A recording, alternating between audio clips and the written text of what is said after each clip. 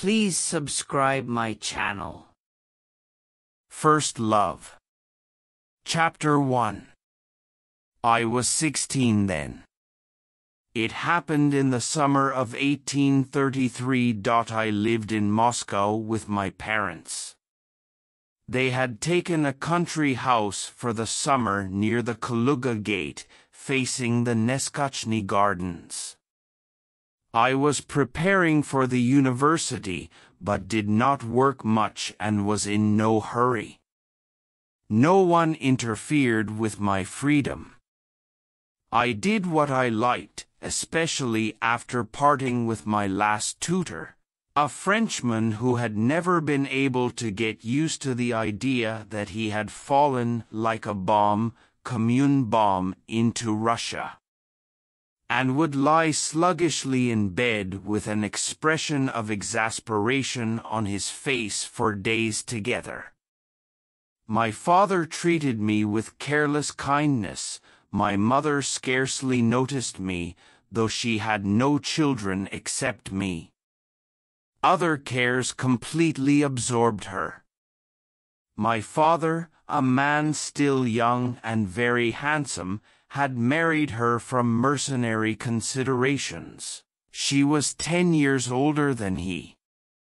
My mother led a melancholy life. She was forever agitated, jealous and angry, but not in my father's presence. She was very much afraid of him, and he was severe, cold, and distant in his behavior. I have never seen a man more elaborately serene, self-confident, and commanding. I shall never forget the first weeks I spent at the country house. The weather was magnificent. We left town on the 9th of May, on St. Nicholas's Day. I used to walk about in our garden, in the Neskutchny Gardens and beyond the town gates, I would take some book with me, Kaidanov's course, for instance, but I rarely looked into it, and more often than anything declaimed verses aloud. I knew a great deal of poetry by heart. My blood was in a ferment and my heart ached, so sweetly and absurdly, I was all hope and anticipation, was a little frightened of something, and full of wonder at everything, and was on the tiptoe of expectation. My imagination played continually, fluttering rapidly about the same fancies, like martins about a bell tower at dawn. I dreamed, was sad, even wept, but through the tears and through the sadness. Inspired by a musical verse, or the beauty of evening, shot up like grass in spring the delicious sense of youth and effervescent life. I had a horse to ride, I used to saddle it myself and set off alone for long rides, break into a rapid gallop and fancy myself a knight at a tournament. How gaily the wind whistled in my ears! Or turning my face towards the sky, I would absorb its shining radiance and blue into my soul, that opened wide to welcome it. I remember that at that time the image of woman, the vision of love, scarcely ever arose in definite shape in my brain, but in all I thought, in all I felt, lay hidden a half-conscious, shame-faced presentiment of something new, unutterably sweet, feminine. This presentiment, this expectation, permeated my whole being, I breathed in it. It coursed through my veins with every drop of blood, it was destined to be soon fulfilled. The place, where we settled for the summer, consisted of a wooden manor house with columns and two small lodges. In the lodge on the left there was a tiny factory for the manufacture of cheap wallpapers.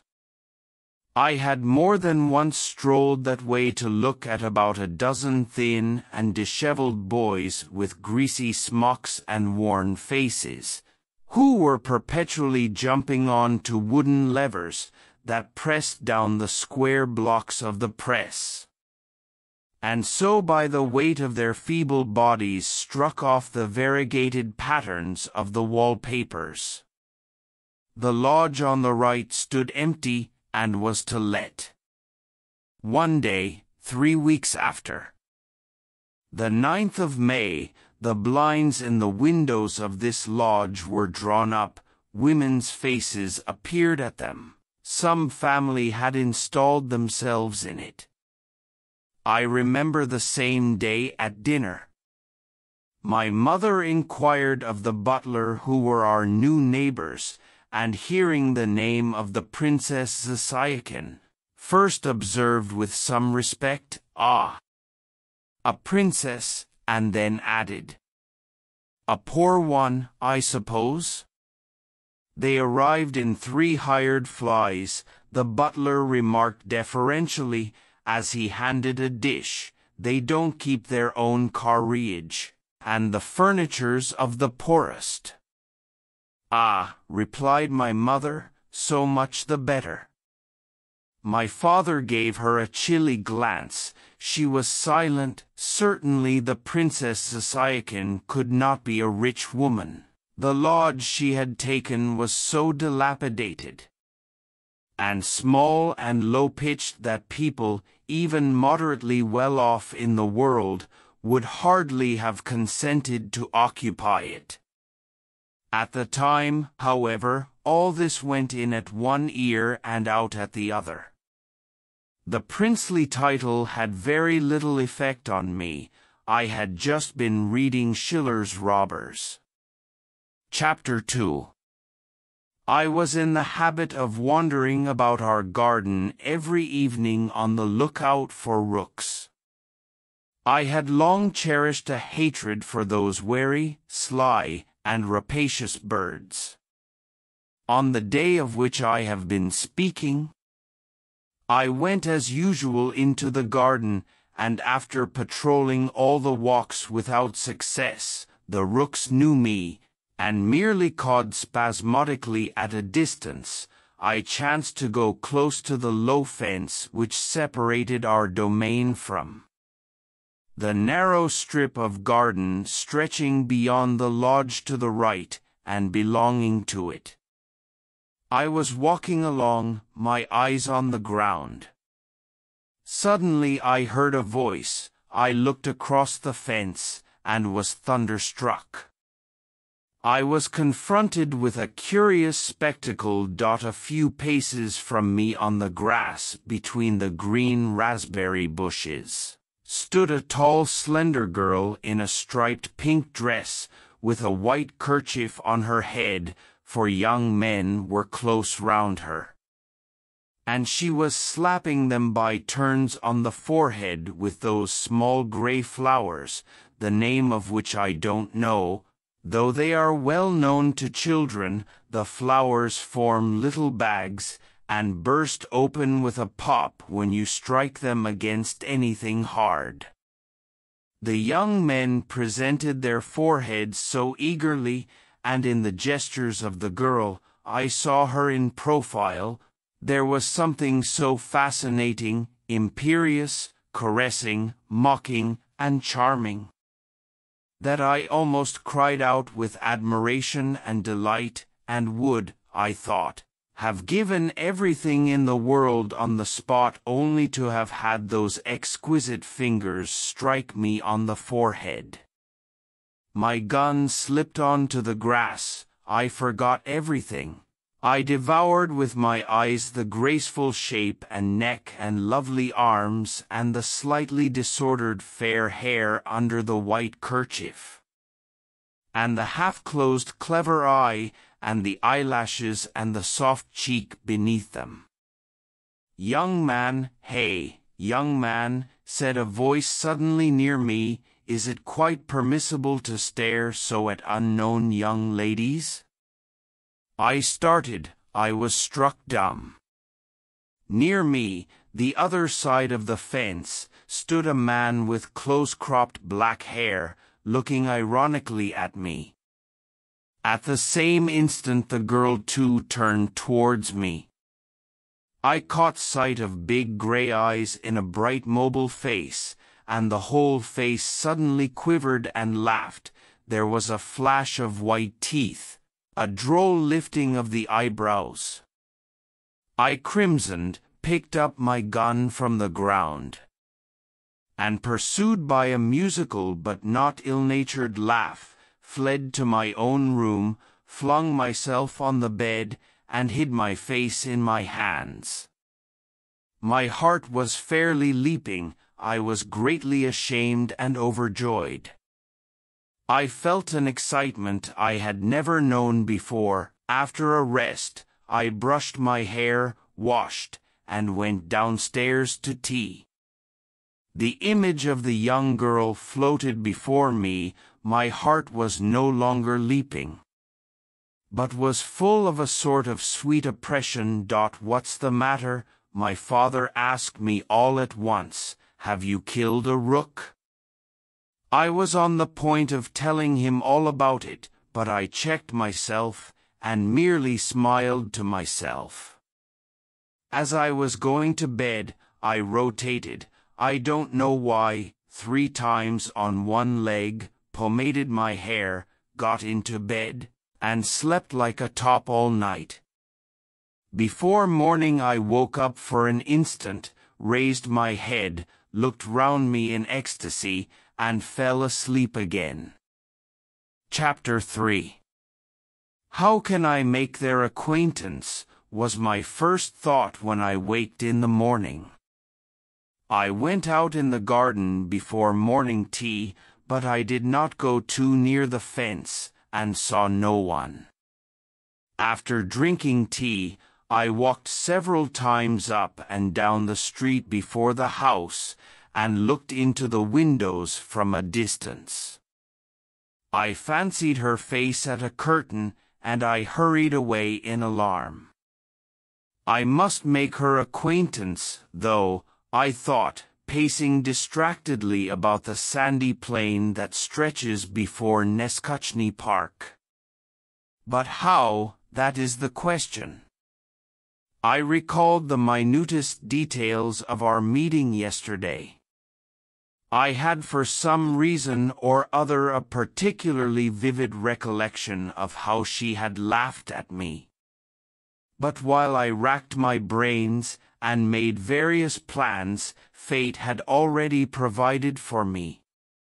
In my absence my mother had received from her new neighbor a letter on grey paper, sealed with brown wax, such as is only used in notices from the post office or on the corks of bottles of cheap wine. In this letter, which was written in illiterate language and in a slovenly hand, the princess begged my mother to use her powerful influence in her behalf. My mother, in the words of the princess, was very intimate with persons of high position upon whom her fortunes and her children's fortunes depended, as she had some very important business in hand. I address myself to you, she wrote, as one gentlewoman to another gentlewoman, and for that reason am glad to avail myself of the opportunity. Concluding, she begged my mother's permission to call upon her. I found my mother in an unpleasant state of indecision. My father was not at home, and she had no one of whom to ask advice. Not to answer a gentlewoman and a princess into the bargain was impossible. But my mother was in a difficulty as to how to answer her. To write a note in French struck her as unsuitable, and Russian spelling was not a strong point with my mother herself, and she was aware of it and did not care to expose herself. She was overjoyed when I made my appearance, and at once told me to go round to the princess's, and to explain to her by word of mouth that my mother would always be glad to do Her Excellency any service within her powers, and begged her to come to see her at one o'clock. This unexpectedly rapid fulfillment of my secret desires both delighted and appalled me. I made no sign, however, of the perturbation which came over me and as a preliminary step went to my own room to put on a new necktie and tailcoat. At home I still wore short jackets and lay-down collars, much as I abominated them. Chapter 4 In the narrow and untidy passage of the lodge, which I entered with an involuntary tremor in all my limbs, I was met by an old grey-headed servant with a dark copper-coloured face, surly little pig's eyes, and such deep furrows on his forehead and temples as I had never beheld in my life. He was carrying a plate containing the spine of a herring that had been gnawed at. And shutting the door that led into the room with his foot, he jerked out, What do you want? Is the Princess Zasyakhin at home? I inquired, Vonifati, a jarring female voice screamed from within. The man without a word turned his back on me, exhibiting as he did so the extremely threadbare hind part of his livery with a solitary reddish heraldic button on it. He put the plate down on the floor and went away. Did you go to the police station? The same female voice called again. The man muttered something in reply. Eh? Has someone come? I heard again. The young gentleman from next door. Ask him in, then, will you step into the drawing room, said the servant, making his appearance once more and picking up the plate from the floor. I mastered my emotions and went into the drawing room. I found myself in a small and not over clean apartment, containing some poor furniture that looked as if it had been hurriedly set down where it stood. At the window in an easy chair with a broken arm was sitting a woman of fifty, bareheaded and ugly, in an old green dress, and a striped worsted wrap about her neck. Her small black eyes fixed me like pins. I went up to her and bowed. I have the honor of addressing the Princess Zasyakhin. I am the Princess Zasyakhin, and you are the son of Mr. V. Yes. I have come to you with a message from my mother. Sit down, please. Vonifati, where are my keys? Have you seen them? I communicated to Madame Zasyakhin my mother's reply to her note. She heard me out, drumming with her fat red fingers on the window pane, and when I had finished, she stared at me once more. Very good, I'll be sure to come, she observed at last. But how young you are. How old are you, may I ask? Sixteen, I replied, with an involuntary stammer. The princess drew out of her pocket some greasy papers covered with writing, raised them right up to her nose, and began looking through them. A good age, she ejaculated suddenly, turning round restlessly on her chair. And do you, pray, make yourself at home? I don't stand on ceremony. No, indeed, I thought, scanning her unprepossessing person with a disgust I could not restrain. At that instant another door flew open quickly, and in the doorway stood the girl I had seen the previous evening in the garden. She lifted her hand, and a mocking smile gleamed in her face. Here is my daughter, observed the princess, indicating her with her elbow. Zinochka, the son of our neighbor, Mr. V. What is your name, allow me to ask? Vladimir, I answered, getting up and stuttering in my excitement, and your father's name? Petrovich, ah. I used to know a commissioner of police whose name was Vladimir Petrovich too. Vonifati. Don't look for my keys, the keys are in my pocket. The young girl was still looking at me with the same smile, faintly fluttering her eyelids and putting her head a little on one side. I have seen Monsieur Voldemar before, she began. The silvery note of her voice ran through me with a sort of sweet shiver. You will let me call you so? Oh, please, I faltered. Where was that? asked the princess. The young princess did not answer her mother. Have you anything to do just now? she said, not taking her eyes off me. Oh, no. Would you like to help me win some wool? Come in here, to me. She nodded to me and went out of the drawing room. I followed her. In the room we went into, the furniture was a little better and was arranged with more taste. Though, indeed, at the moment, I was scarcely capable of noticing anything. I moved as in a dream and felt all through my being a sort of intense blissfulness that verged on imbecility. The young princess sat down, took out a skein of red wool and, motioning me to a seat opposite her, carefully untied the skein and laid it across my hands.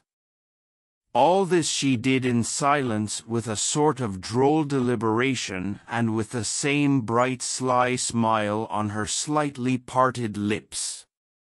She began to wind the wool on a bent card, and all at once she dazzled me with a glance so brilliant and rapid that I could not help dropping my eyes.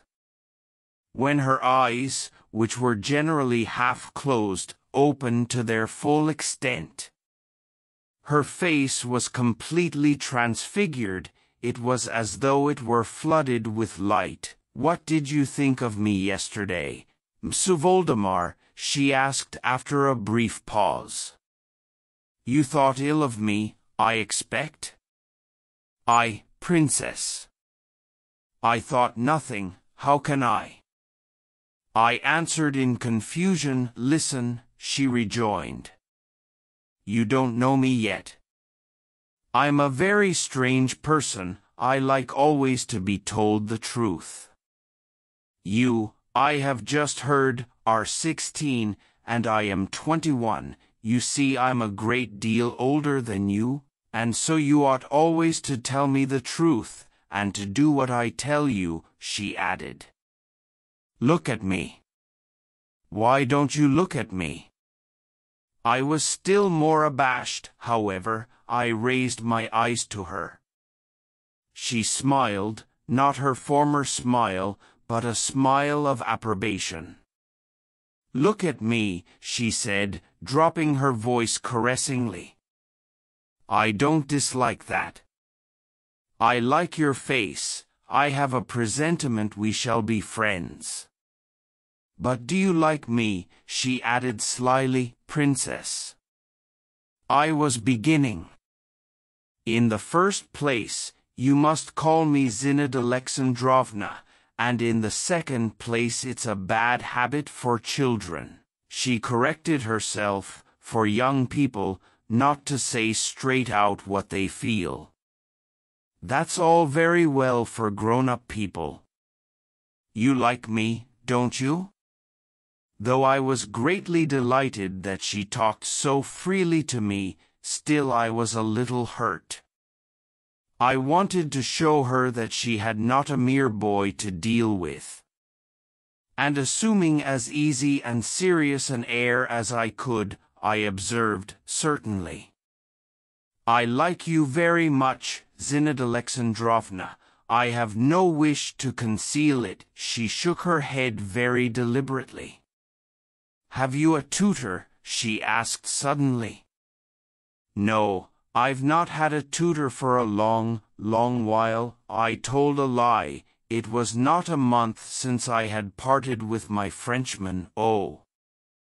I see then, you are quite grown up. She tapped me lightly on the fingers. Hold your hands straight. And she applied herself busily to winding the ball. I seized the opportunity when she was looking down and fell to watching her, at first stealthily, then more and more boldly. Her face struck me as even more charming than on the previous evening, everything in it was so delicate, clever, and sweet. She was sitting with her back to a window covered with a white blind, the sunshine, streaming in through the blind, shed a soft light over her fluffy golden curls, her innocent neck, her sloping shoulders, and tender, untroubled bosom. I gazed at her, and how dear and near she was already to me. It seemed to me I had known her a long while and had never known anything nor lived at all till I met her. She was wearing a dark and rather shabby dress and an apron. I would gladly, I felt, have kissed every fold of that dress and apron. The tips of her little shoes peeped out from under her skirt. I could have bowed down in adoration to those shoes. And here I am sitting before her. I thought, I have made acquaintance with her. What happiness, my God! I could hardly keep from jumping up from my chair in ecstasy, but I only swung my legs a little. Like a small child who has been given sweetmeats. I was as happy as a fish in water, and I could have stayed in that room forever, have never left that place. Her eyelids were slowly lifted, and once more her clear eyes shone kindly upon me. And again she smiled. How you look at me, she said slowly, and she held up a threatening finger. I blushed. She understands it all, she sees all, flashed through my mind. And how could she fail to understand and see it all? All at once there was a sound in the next room, the clink of a saber. Zina, screamed the princess in the drawing-room. Byelovzorov has brought you a kitten. A kitten, cried Zinaida, and getting up from her chair impetuously, she flung the ball of worsted on my knees and ran away. I too got up and, laying the skein and the ball of wool on the window-sill, I went into the drawing-room and stood still, hesitating. In the middle of the room, a tabby kitten was lying with outstretched paws. Zinaida was on her knees before it, cautiously lifting up its little face. Near the old princess, and filling up almost the whole space between the two windows, was a flaxen curly-headed young man, a hussar, with a rosy face and prominent eyes. What a funny little thing. Zinaida was saying, and its eyes are not grey, but green, and what long ears. Thank you, Viktor Yegorich. You are very kind. The hussar, in whom I recognized one of the young men I had seen the evening before, smiled and bowed with a clink of his spurs and a jingle of the chain of his saber. You were pleased to say yesterday that you wished to possess a tabby kitten with long ears, so I obtained it. Your word is law. And he bowed again, the kitten gave a feeble mew and began sniffing the ground. It's hungry, cried Zinaida. Vonifati, Sonia. Bring some milk, a maid, in an old yellow gown with a faded kerchief at her neck, came in with a saucer of milk and set it before the kitten. The kitten started, blinked, and began lapping. What a pink little tongue it has, remarked Zinaida, putting her head almost on the ground and peeping at it sideways under its very nose. The kitten, having had enough, began to purr and move its paws affectedly. Zinaida got up, and turning to the maid said carelessly, Take it away, for the kitten, your little hand, said the hussar, with a simper and a shrug of his strongly built frame, which was tightly buttoned up in a new uniform. Both, replied Zinaida, and she held out her hands to him. While he was kissing them, she looked at me over his shoulder. I stood stock still in the same place and did not know whether to laugh, to say something, or to be silent. Suddenly through the open door into the passage I caught sight of our footman, Fyodor. He was making signs to me. Mechanically I went out to him. What do you want? I asked. Your mamma has sent for you, he said in a whisper. She is angry that you have not come back with the answer, why, have I been here long? Over an hour. Over an hour. I repeated unconsciously, and going back to the drawing room I began to make bows and scrape with my heels. Where are you off to? The young princess asked, glancing at me from behind the hussar. I must go home. So I am to say, I added, addressing the old lady, that you will come to us about two, do you say so, my good sir? The princess hurriedly pulled out her snuff box and took snuff so loudly that I positively jumped. Do you say so? she repeated, blinking tearfully and sneezing. I bowed once more, turned, and went out of the room with that sensation of awkwardness in my spine which a very young man feels when he knows he is being looked at from behind. Mind you come and see us again, Mr. Voldemar, Zinaida called, and she laughed again. Why is it she's always laughing? I thought, as I went back home escorted by Fyodor, who said nothing to me but walked behind me with an air of disapprobation. My mother scolded me and wondered whatever I could have been doing so long at the princess's. I made her no reply and went off to my own room. I felt suddenly very sad. I tried hard not to cry. I was jealous of the hussar. Chapter 5 the princess called on my mother as she had promised and made a disagreeable impression on her.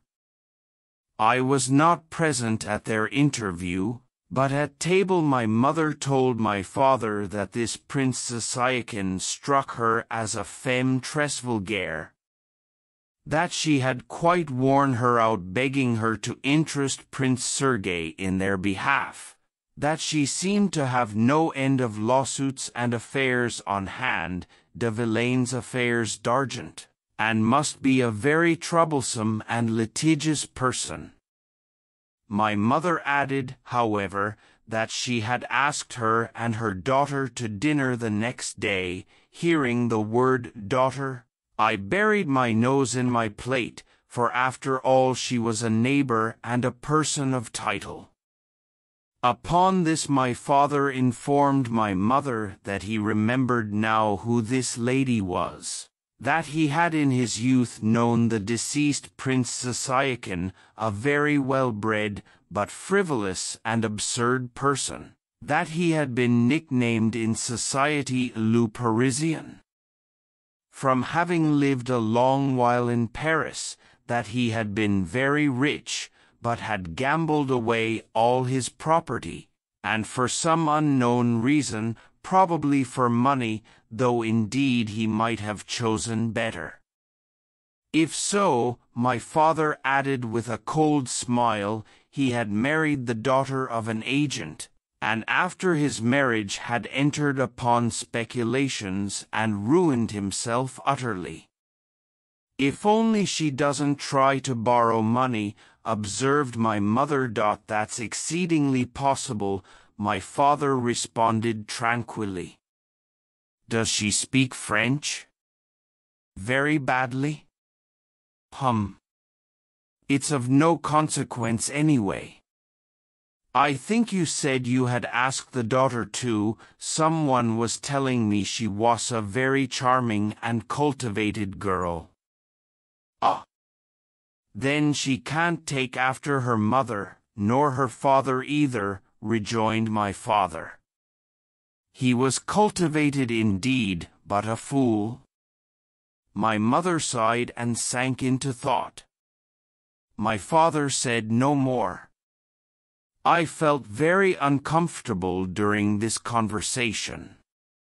After dinner I went into the garden, but without my gun. I swore to myself that I would not go near the Zasyekins' garden, but an irresistible force drew me thither, and not in vain. I had hardly reached the fence when I caught sight of Zinaida. This time she was alone. She held a book in her hands and was coming slowly along the path. She did not notice me. I almost let her pass by, but all at once I changed my mind and coughed. She turned round, but did not stop, pushed back with one hand the broad blue ribbon of her round straw hat, looked at me, smiled slowly, and again bent her eyes on the book. I took off my cap, and after hesitating a moment, walked away with a heavy heart. Quais was J.E. Porel? I thought, God knows why, in French. Familiar footsteps sounded behind me. I looked round. My father came up to me with his light, rapid walk. Is that the young princess? He asked me, Yes, why, do you know her? I saw her this morning at the princess's. My father stopped and, turning sharply on his heel, went back. When he was on a level with Zinaida, he made her a courteous bow. She, too, bowed to him with some astonishment on her face, and dropped her book. I saw how she looked after him. My father was always irreproachably dressed, simple and in a style of his own, but his figure had never struck me as more graceful, never had his grey hat sat more becomingly on his curls, which were scarcely perceptibly thinner than they had once been. I bent my steps toward Zinaida but she did not even glance at me. She picked up her book again and went away. Chapter 6 The whole evening and the following day I spent in a sort of dejected apathy. I remember I tried to work and took up Kaidanov, but the boldly printed lines and pages of the famous textbook passed before my eyes in vain. I read ten times over the words, Julius Caesar was distinguished by warlike courage. I did not understand anything and threw the book aside. Before dinner time I pomaded myself once more, and once more put on my tailcoat and necktie. What's that for? my mother demanded. You're not a student yet, and God knows whether you'll get through the examination. And you've not long had a new jacket. You can't throw it away. There will be visitors, I murmured almost in despair, what nonsense. Fine visitors indeed. I had to submit. I changed my tailcoat for my jacket, but I did not take off the necktie. The princess and her daughter made their appearance half an hour before dinner time. The old lady had put on, in addition to the green dress with which I was already acquainted, a yellow shawl, and an old-fashioned cap adorned with flame-colored ribbons. She began talking at once about her money difficulties, sighing, complaining of her poverty, and imploring assistance. But she made herself at home. She took snuff as noisily, and fidgeted and lolled about in her chair as freely as ever. It never seemed to have struck her that she was a princess. Zinaida, on the other hand, was rigid, almost haughty in her demeanor, every inch a princess. There was a cold immobility and dignity in her face. I should not have recognized it, I should not have known her smiles, her glances, though I thought her exquisite in this new aspect too. She wore a light barège dress with pale blue flowers on it. Her hair fell in long curls down her cheek in the English fashion. This style went well with the cold expression of her face. My father sat beside her during dinner and entertained his neighbor with the finished and serene courtesy peculiar to him. He glanced at her from time to time, and she glanced at him, but so strangely, almost with hostility. Their conversation was carried on in French. I was surprised, I remember, at the purity of Zinaida's accent. The princess, while we were at table, as before made no ceremony, she ate a great deal and praised the dishes. My mother was obviously bored by her and answered her with a sort of weary indifference. My father faintly frowned now and then. My mother did not like Zinaida either.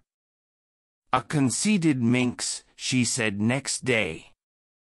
And fancy what she has to be conceited about, avec sa mine de grisette. It's clear you have never seen any grisettes, my father observed to her, thank God, I haven't. Thank God, to be sure, only how can you form an opinion of them, then? To me Zinaida had paid no attention whatever. Soon after dinner the princess got up to go. I shall rely on your kind offices, Maria Nikolaevna and Pyotr Vassilitch she said in a doleful sing-song to my mother and father. I've no help for it. There were days, but they are over. Here I am, an excellency, and a poor honor it is with nothing to eat. My father made her a respectful bow and escorted her to the door of the hall. I was standing there in my short jacket, staring at the floor like a man under sentence of death. Zinaida's treatment of me had crushed me utterly. What was my astonishment when, as she passed me, she whispered quickly with her former kind expression in her eyes, Come to see us at eight, do you hear, be sure. I simply threw up my hands, but already she was gone, flinging a white scarf over her head. Chapter 7 At eight o'clock precisely, in my tailcoat and with my hair brushed up into a tuft on my head, I entered the passage of the lodge. where the princess lived. The old servant looked crossly at me and got up unwillingly from his bench. There was a sound of merry voices in the drawing room. I opened the door and fell back in amazement. In the middle of the room was the young princess standing on a chair, holding a man's hat in front of her. Round the chair crowded some half a dozen men. They were trying to put their hands into the hat while she held it above their heads, shaking it violently. On seeing me, she cried, Stay, stay, another guest, he must have a ticket too. And leaping lightly down from the chair, she took me by the cuff of my coat. Come along, she said, why are you standing still? Messers, let me make you acquainted, this is M'sieu Voldemar, the son of our neighbor. And this, she went on, addressing me, and indicating her guests in turn, Count Malevsky, Dr. Lushin, Maidanov the poet, the retired Captain Nirmatsky, and Byelovzorov the Hussar, whom you've seen already. I hope you will be good friends. I was so confused that I did not even bow to anyone. In Dr. Lushin I recognized the dark man who had so mercilessly put me to shame in the garden, the others were unknown to me. Count, continued Zinaida, write M'sieu Voldemar a ticket, that's not fair, was objected in a slight Polish accent by the Count. A very handsome and fashionably dressed brunette with expressive brown eyes. A thin little white nose and delicate little mustaches over a tiny mouth. This gentleman has not been playing forfeits with us.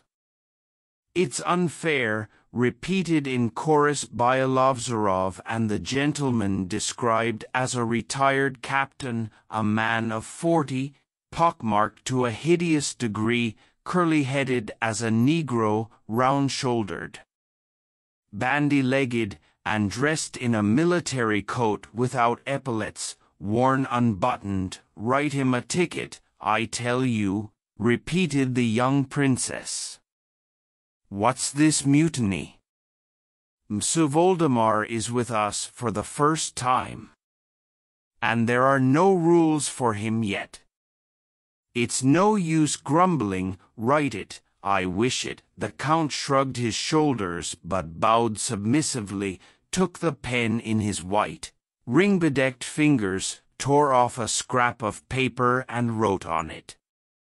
At least let us explain to Mr. Voldemar what we are about, Lushin began in a sarcastic voice, or else he will be quite lost.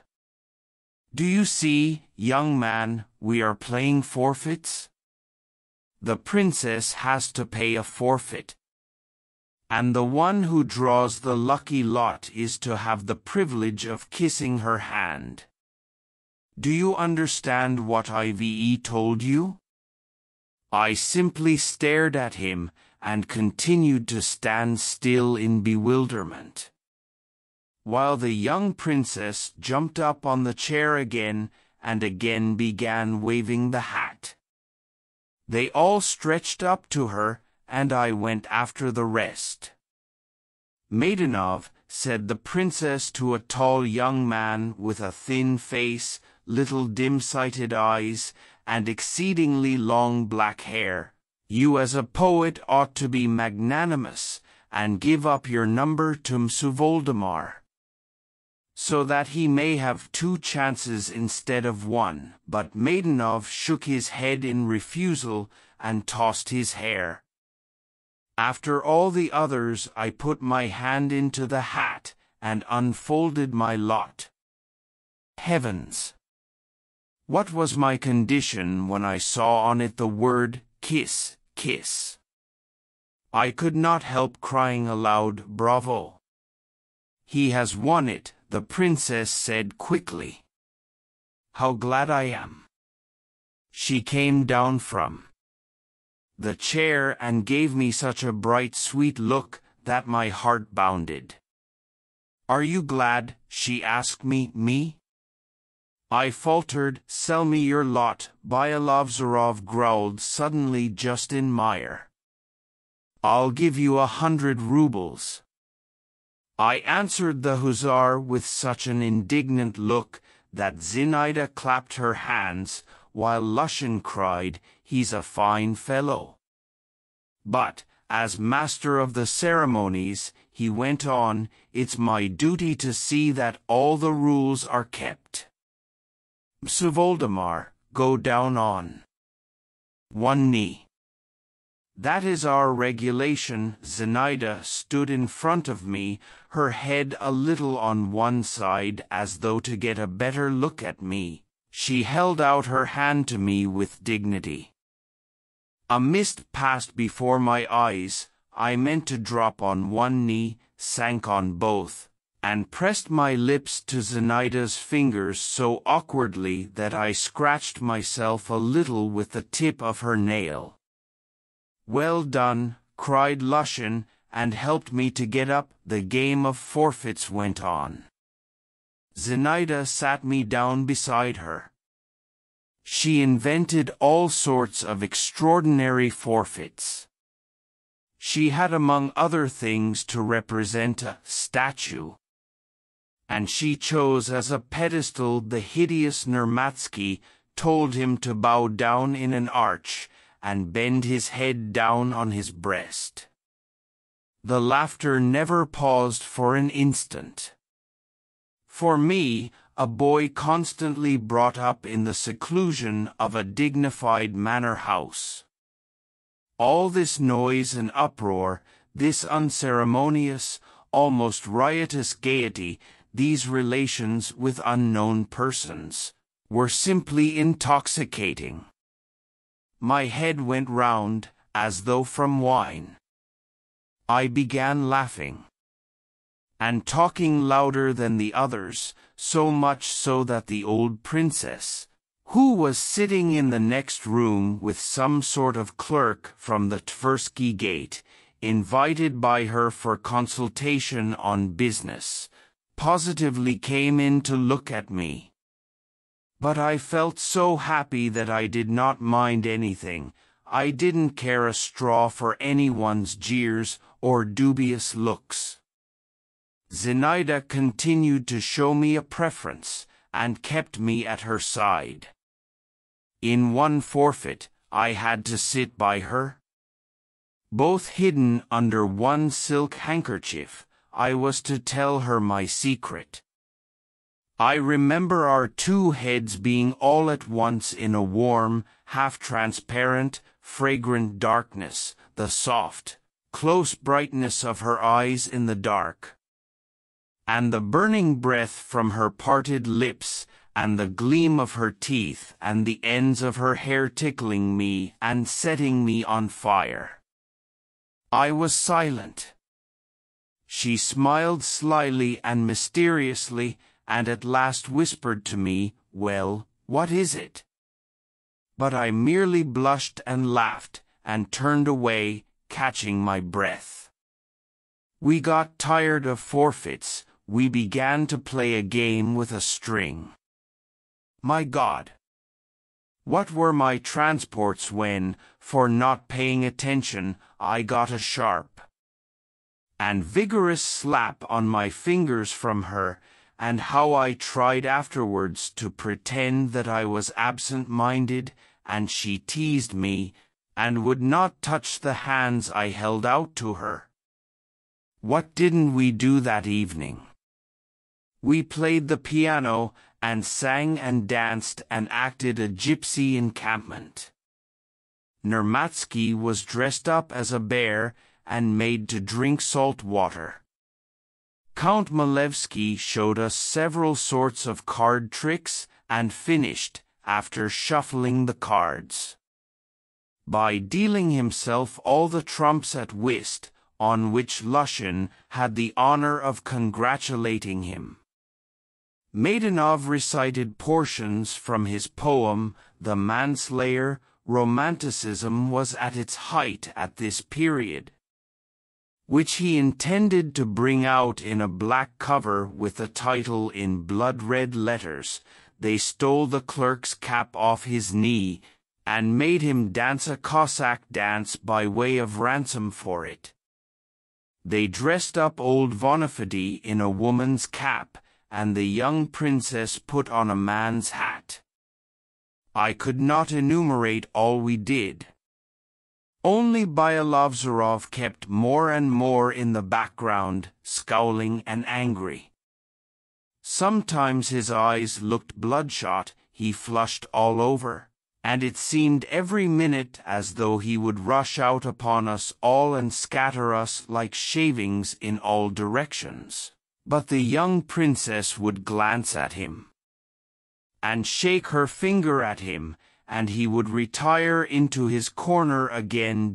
We were quite worn out at last.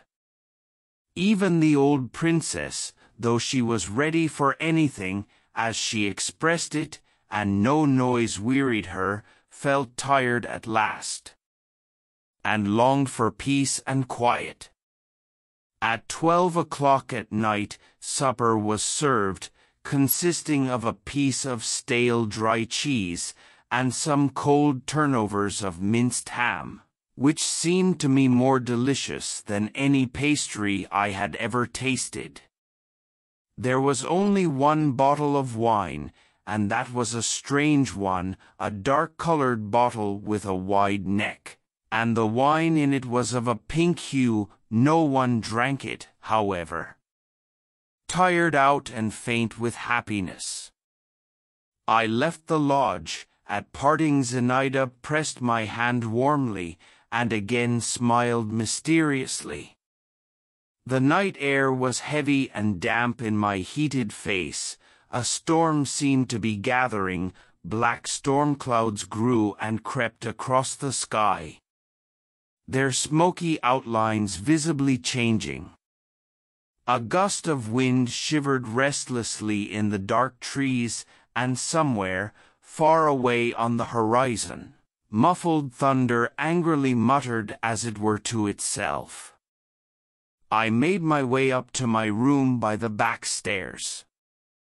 My old man nurse was asleep on the floor, and I had to step over him. He waked up, saw me, and told me that my mother had again been very angry with me, and had wished to send after me again, but that my father had prevented her. I had never gone to bed without saying good night to my mother and asking her blessing. There was no help for it now.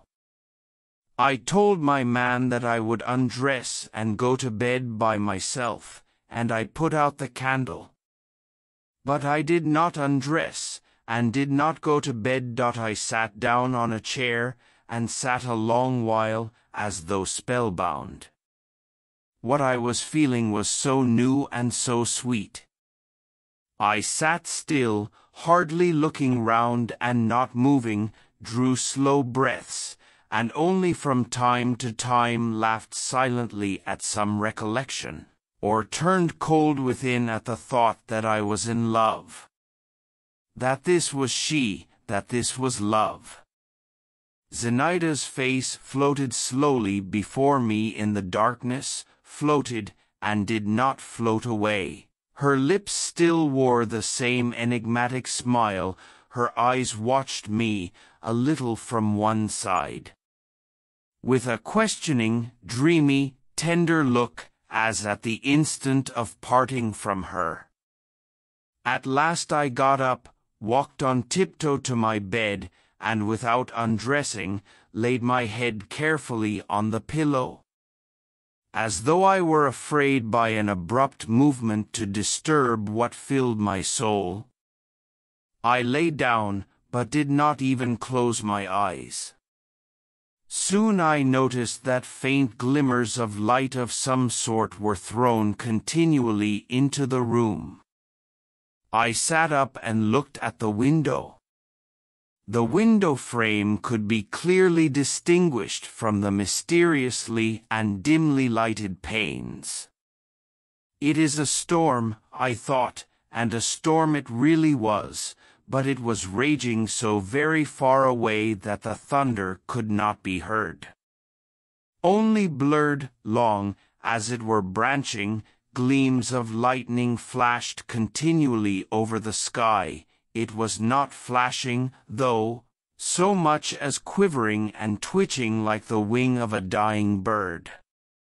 I got up, went to the window, and stood there till morning. The lightning never ceased for an instant. It was what is called among the peasants a sparrow night.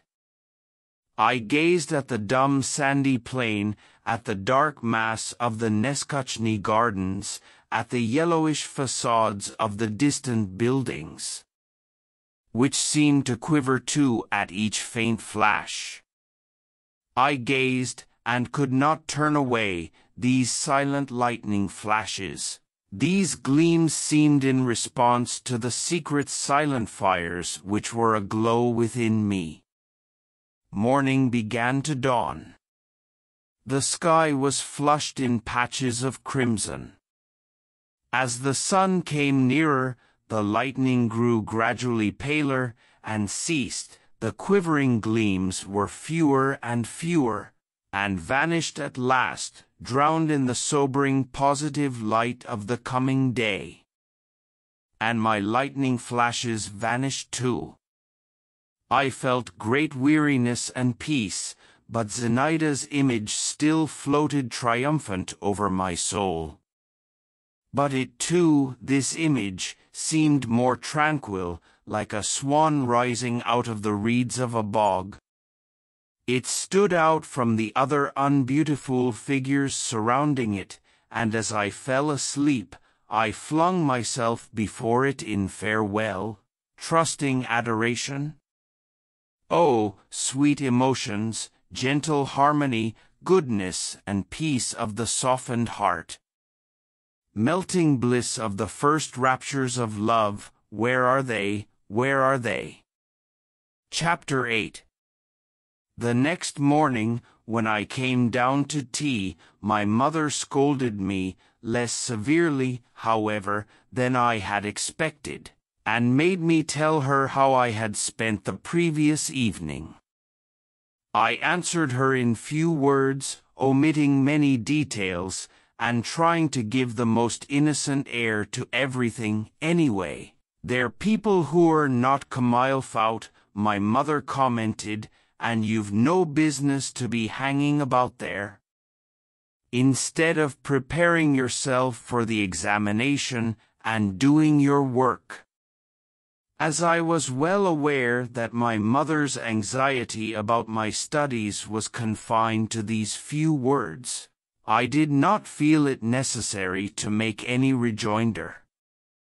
But after morning tea was over, my father took me by the arm, and turning into the garden with me, forced me to tell him all I had seen at the Zasyekins. A curious influence my father had over me, and curious were the relations existing between us.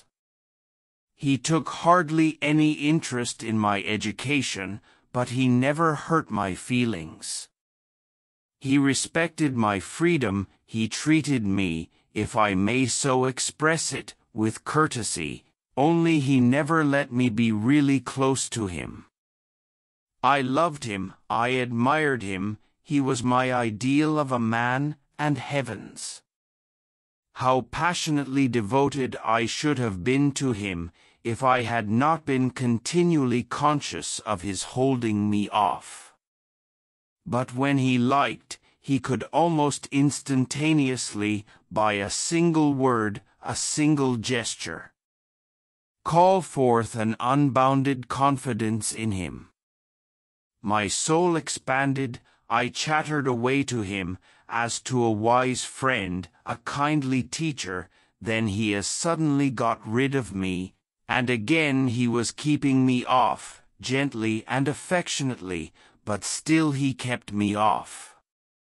Sometimes he was in high spirits, and then he was ready to romp and frolic with me like a boy. He was fond of vigorous physical exercise of every sort once. It never happened a second time. He caressed me with such tenderness that I almost shed tears. But high spirits and tenderness alike vanished completely, and what had passed between us gave me nothing to build on for the future. It was as though I had dreamed it all. Sometimes I would scrutinize his clever, handsome, bright face. My heart would throb, and my whole being yearn to him. He would seem to feel what was going on within me, would give me a passing pat on the cheek, and go away, or take up some work, or suddenly freeze all over as only he knew how to freeze, and I shrank into myself at once, and turned cold too. His rare fits of friendliness to me were never called forth by my silent but intelligible entreaties, they always occurred unexpectedly. Thinking over my father's character later, I have come to the conclusion that he had no thoughts to spare for me and for family life. His heart was in other things, and found complete satisfaction elsewhere. Take for yourself what you can, and don't be ruled by others, to belong to oneself, the whole savor of life lies in that, he said to me one day. Another time, I, as a young Democrat, fell to airing my views on liberty. He was kind, as I used to call it, that day, and at such times I could talk to him as I liked. Liberty, he repeated, and do you know what can give a man liberty? What? Will, his own will, and it gives power, which is better than liberty. Know how to will, and you will be free, and will lead. My father, before all, and above all, desired to live, and lived. Perhaps he had a presentiment that he would not have long to enjoy the savor of life. He died at forty-two. I described my evening at the Zasyekins minutely to my father. Half attentively, half carelessly, he listened to me, sitting on a garden seat, drawing in the sand with his cane. Now and then he laughed, shot bright, droll glances at me, and spurred me on with short questions and assents. At first I could not bring myself even to utter the name of Zinaida, but I could not restrain myself long, and began singing her praises. My father still laughed. Then he grew thoughtful, stretched, and got up.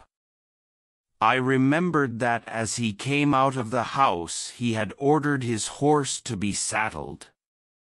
He was a splendid horseman and, long before Rarey, had the secret of breaking in the most vicious horses. Shall I come with you, father? I asked. No, he answered, and his face resumed its ordinary expression of friendly indifference. Go alone, if you like, and tell the coachman I'm not going. He turned his back on me and walked rapidly away. I looked after him, he disappeared through the gates. I saw his hat moving along beside the fence, he went into the Zasyekins. He stayed there not more than an hour, but then departed at once for the town, and did not return home till evening. After dinner I went myself to the Zasyekins. In the drawing room I found only the old princess. On seeing me she scratched her head under her cap with a knitting needle and suddenly asked me could I copy a petition for her. With pleasure, I replied, sitting down on the edge of a chair, only mind and make the letters bigger, observed the princess, handing me a dirty sheet of paper, and couldn't you do it today, my good sir? Certainly, I will copy it today. The door of the next room was just opened, and in the crack I saw the face of Zinaida. Pale and pensive, her hair flung carelessly back, she stared at me with big chilly eyes and softly closed the door. Zina, Zina, called the old lady. Zinaida made no response. I took home the old lady's petition and spent the whole evening over it. Chapter 9 My passion dated from that day. I felt at that time, I recollect, something like what a man must feel on entering the service. I had ceased now to be simply a young boy, I was in love. I have said that my passion dated from that day. I might have added that my sufferings too dated from the same day. Away from Zinaida I pined, nothing was to my mind, everything went wrong with me, I spent whole days thinking intensely about her. I pined when away, but in her presence I was no better off. I was jealous, I was conscious of my insignificance, I was stupidly sulky or stupidly abject, and, all the same, an invincible force drew me to her. And I could not help a shudder of delight whenever I stepped through the doorway of her room. Zinaida guessed at once that I was in love with her, and indeed I never even thought of concealing it. She amused herself with my passion, made a fool of me, petted and tormented me. There is a sweetness in being the sole source, the autocratic and irresponsible cause of the greatest joy and profoundest pain to another. And I was like wax in Zinaida's hands, though, indeed, I was not the only one in love with her. All the men who visited the house were crazy over her, and she kept them all in leading strings at her feet.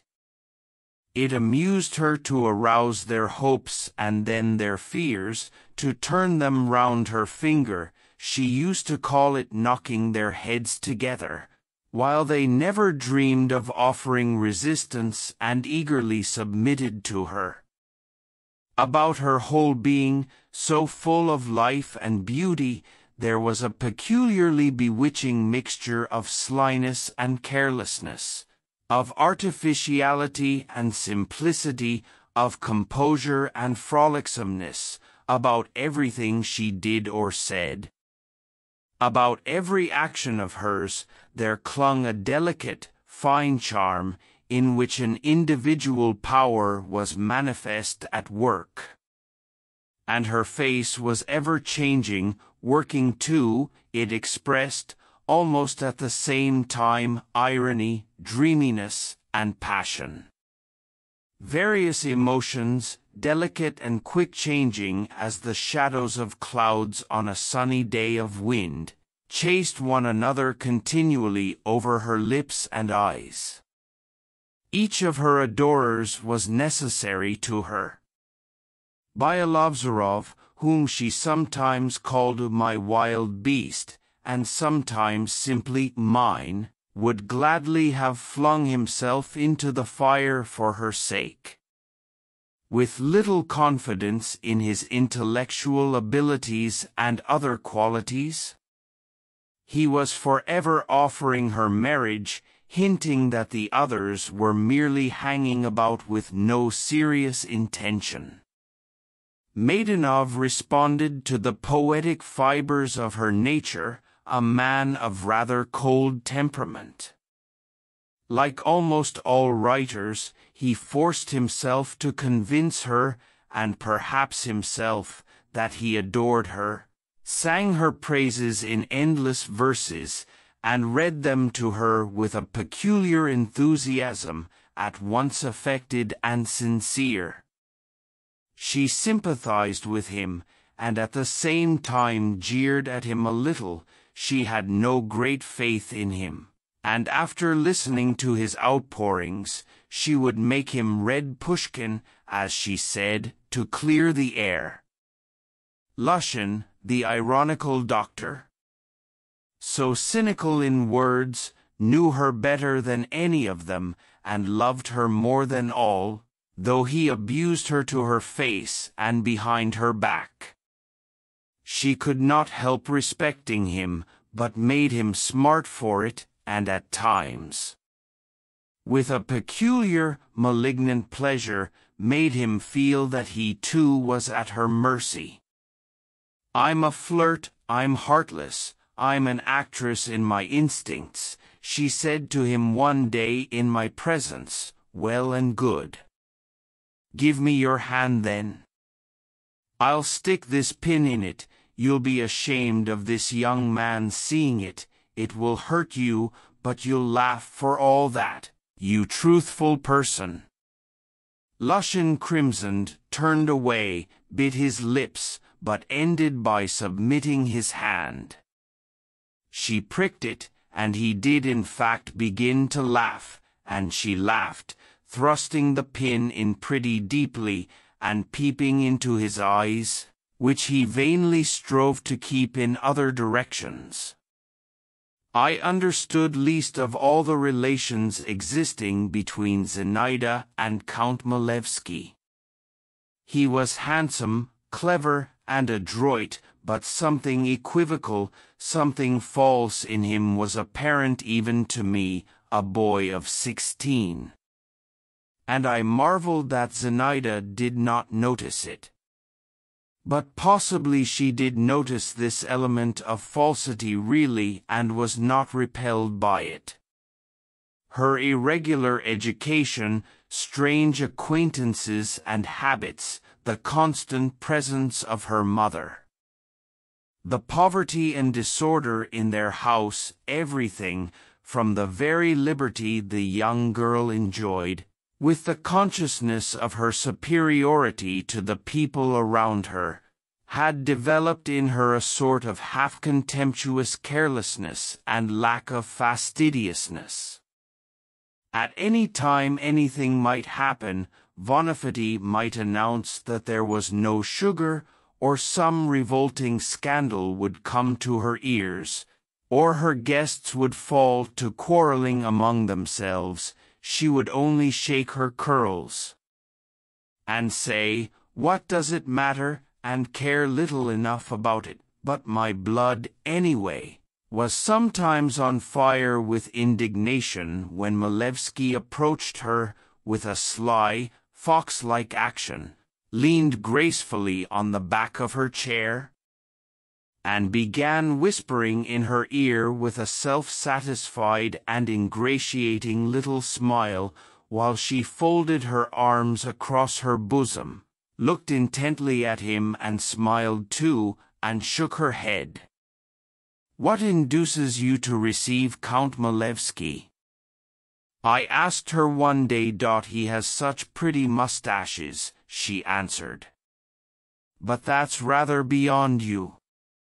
You needn't think I care for him, she said to me another time. No, I can't care for people I have to look down upon. I must have someone who can master me.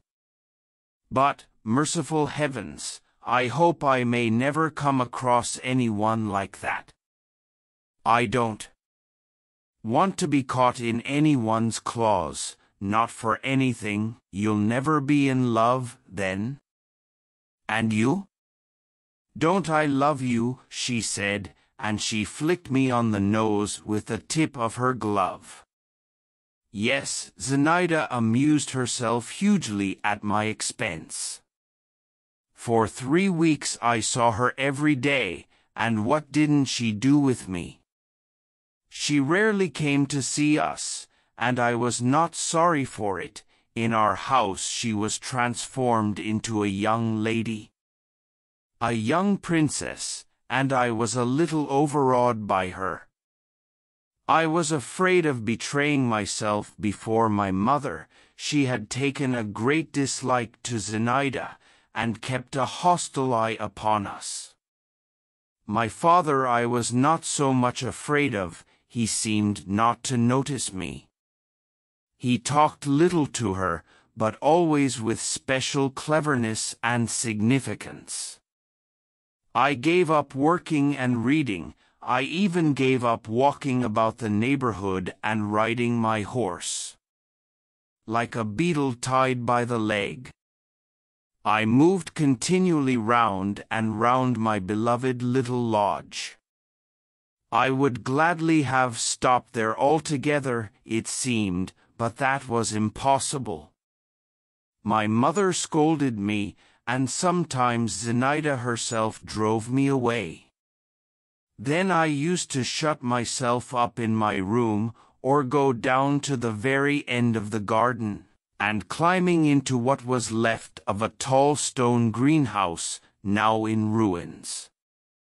Sit for hours with my legs hanging over the wall that looked on to the road, gazing and gazing and seeing nothing. White butterflies flitted lazily by me, over the dusty nettles, a saucy sparrow settled not far off on the half-crumbling red brickwork and twittered irritably, incessantly twisting and turning and preening his tail feathers. The still mistrustful rooks cawed now and then. Sitting high, high up on the bare top of a birch tree, the sun and wind played softly on its pliant branches. The tinkle of the bells of the Don monastery floated across to me from time to time, peaceful and dreary, while I sat, gazed, listened, and was filled full of a nameless sensation in which all was contained, sadness and joy and the foretaste of the future, and the desire and dread of life. But at that time I understood nothing of it and could have given a name to nothing of all that was passing at random within me, or should have called it all by one name, the name of Zinaida. Zinaida continued to play cat and mouse with me. She flirted with me, and I was all agitation and rapture, then she would suddenly thrust me away, and I dared not go near her, dared not look at her.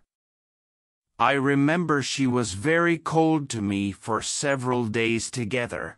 I was completely crushed, and creeping timidly to their lodge, tried to keep close to the old princess, regardless of the circumstance that she was particularly scolding and grumbling just at that time. Her financial affairs had been going badly, and she had already had two explanations with the police officials. One day I was walking in the garden beside the familiar fence, and I caught sight of Zinaida, leaning on both arms. She was sitting on the grass, not stirring a muscle. I was about to make off cautiously. But she suddenly raised her head and beckoned me imperiously. My heart failed me. I did not understand her at first. She repeated her signal.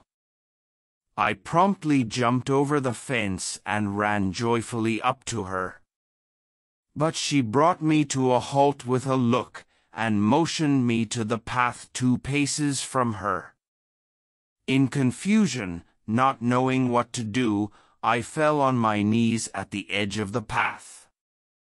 She was so pale, such bitter suffering. Such intense weariness was expressed in every feature of her face that it sent a pang to my heart, and I muttered on. Consciously, what is the matter? Zinaida stretched out her head, picked a blade of grass, bit it and flung it away from her. You love me very much, she asked at last. Yes. I made no answer, indeed, what need was there to answer? Yes, she repeated, looking at me as before. That's so. The same eyes, she went on, sank into thought and hid her face in her hands. Everything's grown so loathsome to me, she whispered, I would have gone to the other end of the world first. I can't bear it. I can't get over it. And what is there before me? Ah, I am wretched. My God, how wretched I am. What for? I asked timidly. Zinaida made no answer. She simply shrugged her shoulders. I remained kneeling, gazing at her with intense sadness. Every word she had uttered simply cut me to the heart. At that instant I felt I would gladly have given my life, if only she should not grieve. I gazed at her, and though I could not understand why she was wretched, I vividly pictured to myself how in a fit of insupportable anguish she had suddenly come out into the garden and sunk to the earth, as though mown down by a scythe. It was all bright and green about her, the wind was whispering in the leaves of the trees. And swinging now and then a long branch of a raspberry bush over Zinaida's head. There was a sound of the cooing of doves, and the bees hummed, flying low over the scanty grass.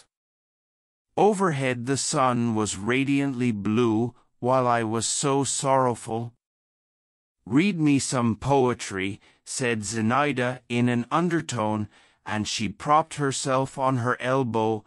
I like your reading poetry. You read it in sing-song, but that's no matter, that comes of being young. Read me On the Hills of Georgia.